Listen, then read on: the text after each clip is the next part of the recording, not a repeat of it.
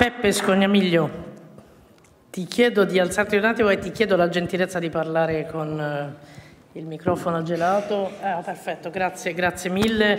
No, no, Peppe figurati. è della cooperativa Siani di Libera No, e siamo felici, felicissimi di avervi vi qui. preoccupate. Grazie a voi, sarò veramente ehm, velocissimo anche perché si sta dicendo eh, davvero tanto. Siamo qui per tutto quello che si sta dicendo stamattina perché c'è bisogno di unire le forze. Di, di fare squadra, di fare rete oggi più che mai, di coniugare il nostro impegno, i nostri, i nostri lavori, tutelare le nostre libertà, tutelare i nostri, i nostri diritti, non entro nel merito dei tanti discorsi che si sono fatti, ehm, voglio solo provare a dirvi velocemente che anche dal mondo dell'antimafia ehm, questi problemi so- sono, sono dentro nel cuore diciamo, della- di quella parte eh, di società, perché se ne potrebbe parlare davvero tanto e credo che troveremo il modo, il modo di farlo, eh, del retaggio culturale del sud, di quelle famiglie che sono costrette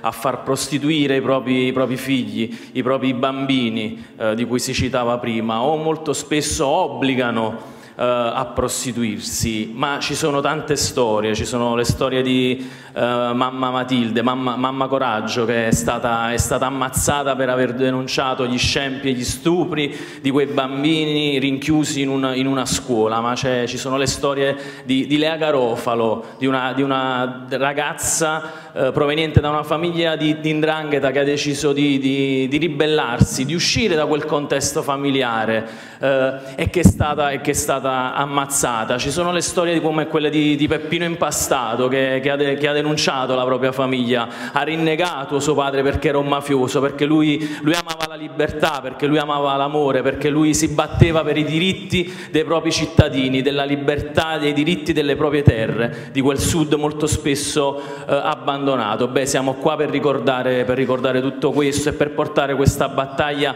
avanti, avanti, insieme a voi perché siamo stanchi di sentire la puzza delle violenze, dei soprusi, siamo davvero, davvero stanchi. Beh, come ci, ci insegna Martin Luther King, un'ingiustizia da qualche parte è una minaccia alla giustizia ovunque. Io credo che oggi qui stamattina possiamo gridare che un diritto negato da qualche parte è un diritto negato all'intero mondo, all'intera, all'intera Italia. Guardate, è evidente che siamo quasi al baratro, è evidente l'oscurantismo, il buio dove stiamo andando. Io credo che oggi più che mai noi dobbiamo riprendere insieme questo cammino, superare cer- certi retaggi, certi ostacoli, perché se siamo qui stamattina è perché c'è proprio quell'amore che ci lega, è quell'amore che noi dobbiamo andare a gridare, è quell'amore la nostra energia, la nostra unione e la nostra forza. Grazie.